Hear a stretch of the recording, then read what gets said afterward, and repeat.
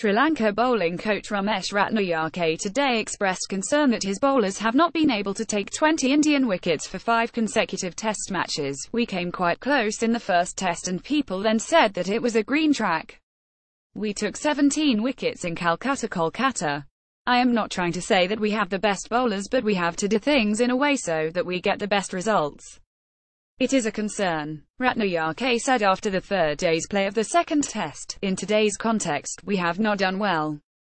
I would like to still encourage the bowlers saying that they have slowed the process a little bit. We need to take 20 wickets and that's for sure, he added. Asked if the effort was lacking, he said, the whole system has to think of that. What we have for the tour is what we have. We have to manage with that.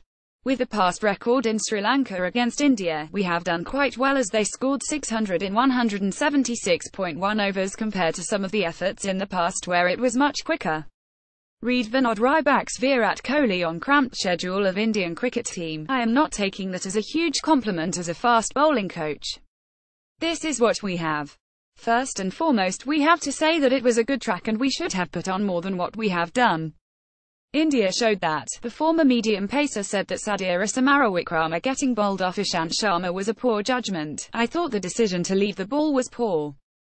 He left the first ball and he perhaps thought the ball was going away. It was a bad judgment. The other two were trying to be positive. That is what we are trying to do. We are going to play in sessions. We will break sessions into portions and we will try to win that, he said.